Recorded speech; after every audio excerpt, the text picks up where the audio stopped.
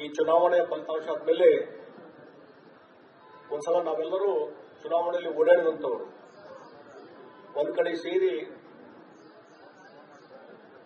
ಎಲ್ಲರೂ ಕೂಡಿಕೊಂಡು ಈ ಚುನಾವಣಾ ಫಲಿತಾಂಶ ಬಗ್ಗೆ ಒಂದು ರೀತಿ ಚರ್ಚೆ ಮಾಡಬೇಕು ಮತ್ತು ಅವಲೋಕನ ಮಾಡಬೇಕು ಅನ್ನುವಂಥ ಹಿನ್ನೆಲೆಯಲ್ಲಿ ಇವತ್ತು ಈ ಸಭೆಯನ್ನು ಸೇರಿದ್ವಿ. ಒಂದು ನಾವು ಹುಬ್ಳಿ ಧಾರವಾಡ ಸೆಂಟ್ರಲ್ ಕ್ಷೇತ್ರದಿಂದ ನಾವು ಸೋತಿರ್ಬೋದು.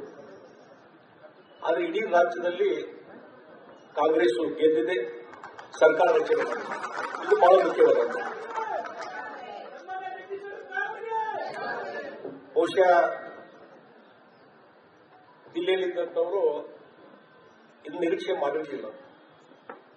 ಕರ್ನಾಟಕದಲ್ಲಿ ಇಷ್ಟು ದೊಡ್ಡ ಪ್ರಮಾಣದಲ್ಲಿ ನೂರ ಮೂವತ್ತೈದು ಸೀಟ್ಗಳನ್ನು ಪಡ್ಕೊಂಡು ಕಾಂಗ್ರೆಸ್ ಪಾರ್ಟಿ ಅತ್ಯಂತ ಹೆಚ್ಚು ಬಹುಮತದಿಂದ ಸರ್ಕಾರ ಮಾಡ್ತದೆ ಅನ್ನುವಂಥದ್ದು ದಿಲ್ಲಿಯಲ್ಲಿ ಕುಂತವರು ಗುರ್ತಿರಲಿಲ್ಲ. ಅದ್ರ ಈಗ ಅದರಿಂದ ಒಂದು ಜನ ಮನಸ್ಸು ಮಾಡಿದ್ರೆ ರಾಜಕೀಯವಾದಂತಹ ಒಂದು ಬದಲಾವಣೆ ತರಬಹುದು ಅನ್ನುವಂಥದ್ದು ಕರ್ನಾಟಕದ ಒಂದು ಉದಾಹರಣೆ ಅಂತ ನಾನು ತಿಳ್ಕೊಂಡಿದ್ದೇನೆ ಇಲ್ಲಿ ಸೆಂಟರ್ದಲ್ಲಿ ಸೋತರು ಸಹಿತ ಇವತ್ತು ಉತ್ತರ ಕರ್ನಾಟಕ ಭಾಗದಲ್ಲಿ ಯಾವ ರೀತಿ ಕಾಂಗ್ರೆಸ್ ಪಾರ್ಟಿ ಗೆದ್ದಿದೆ ಮತ್ತು ನನ್ನ ಚುನಾವಣೆಯ ಸಂದರ್ಭದಲ್ಲಿ ಸಹಿತ ಒಂದು ಎರಡು ಮೂರು ದಿವಸ ನಾನು ಬೇರೆ ಜಿಲ್ಲೆಗಳ ಪ್ರವಾಸ ಹೋಗಿದ್ದೆ.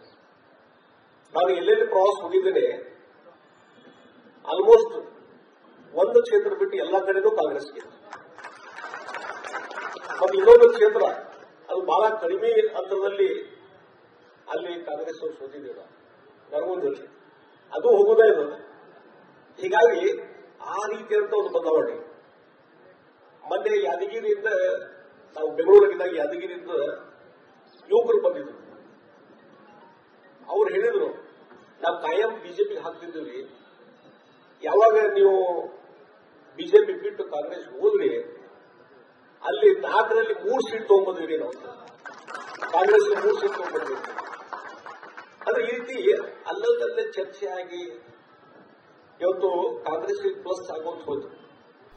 ಅದರಿಂದ ಇವತ್ತು ನೂರ ಮೂವತ್ತೈದು ಸೀಟ್ಗಳನ್ನು ನಾವು ಪಡ್ಕೊಂಡಿದ್ದೇವೆ.